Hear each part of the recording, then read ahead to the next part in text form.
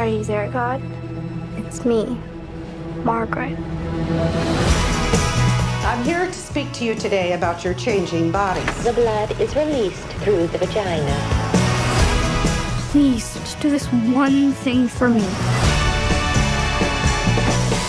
Let me just be normal and regular like everybody else. Just please, please, please, please, please, please, please. What I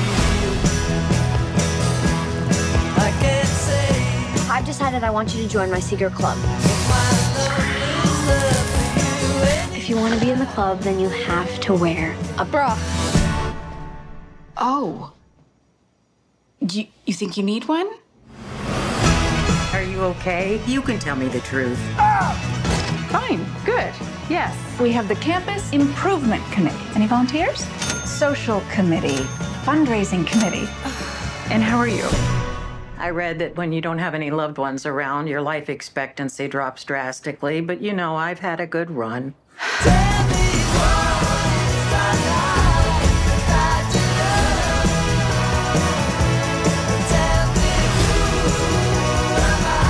Gets tiring. Trying so hard all the time, doesn't it? I don't know if I want to do this. Just that we're ready. Please, God, let it be a lady.